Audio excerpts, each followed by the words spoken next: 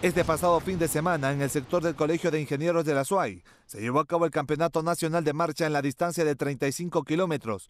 La importancia del evento radicó en que tenía el carácter de clasificatorio para el Campeonato Sudamericano de Río de Janeiro 50 kilómetros, donde se desarrollarán los Juegos Olímpicos previsto para este 28 de febrero.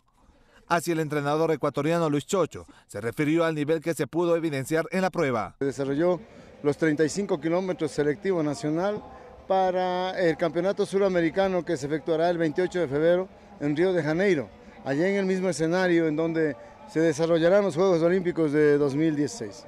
Los marchistas cumplieron la prueba en un circuito de 2.000 metros trazados en la avenida Comandá, desde el Coliseo del Colegio de Ingenieros hasta el puente del río Machángara, en la avenida González Suárez. En total, dieron 17 vueltas y media.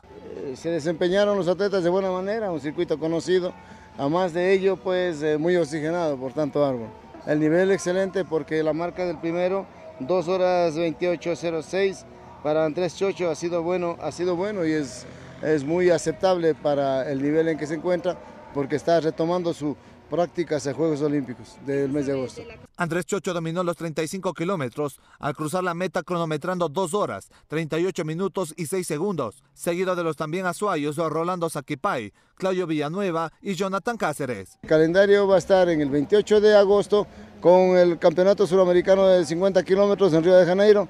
Pasaremos después al mes de marzo a Chihuahua, México y de aquí habrán los eventos en Europa, Eslovaquia, habrá eh, República Checa, pues, y habrán otros eventos que se desarrollarán como Río Mayor y luego el Campeonato Suramericano la primera semana del mes de abril en Salinas, Ecuador, y de aquí pasaremos para la Copa Mundo que se desarrollará en la primera y segunda semana de mayo en Roma, en Roma, en Italia. Y luego de esto, pues, eh, pasaremos ya con miras a último evento con oportunidad para los atletas que busquen el cupo para Juegos Olímpicos en La Coruña, España, en el mes de junio. Y de aquí rumbo a agosto para los Juegos Olímpicos. El próximo 5 y 6 de marzo se efectuará otro selectivo nacional en Sucúa para determinar a los atletas que representarán al país en el Sudamericano de Ecuador en las categorías prejuvenil, juvenil y senior 20 kilómetros, a realizarse en Guayaquil el 2 de abril.